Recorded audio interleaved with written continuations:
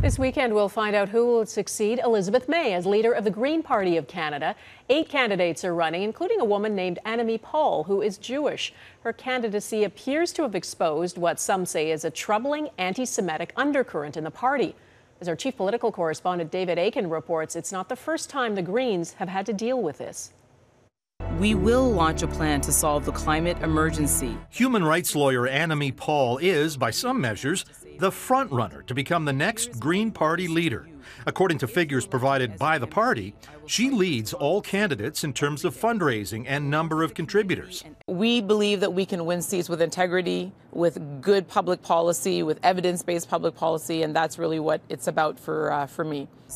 But as popular as she's been with many Green supporters, others, she says, have attacked her for being Jewish. I have been subjected to what can only be described as an unrelenting onslaught of comments and commentary and trolling online.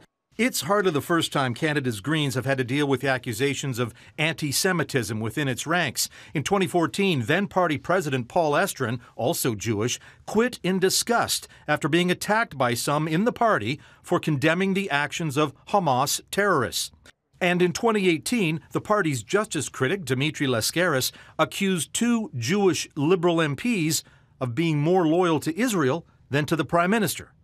Lascaris' attack was widely condemned by all party leaders, though he rejects the view his comments were anti Semitic. Well, I think one has to really get a, a good handle on what anti Semitism is and understand that legitimate criticism of the state of Israel is in no way, shape, or form anti Semitic. Lascaris is now a top contender to become leader of the Green Party, second to Paul in fundraising, in fact, and he rejects the idea that the Green Party has a problem with anti Semites. I think that there is a serious problem with anti Semitism in this country, and I think where you're going to find that is predominantly on the right wing of the political spectrum.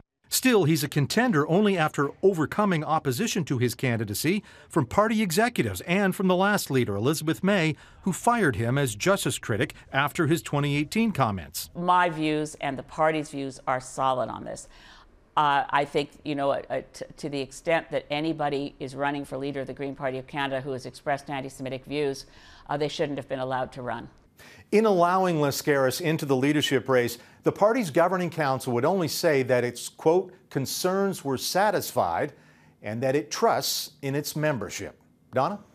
All right, David Akin in Ottawa. Thanks.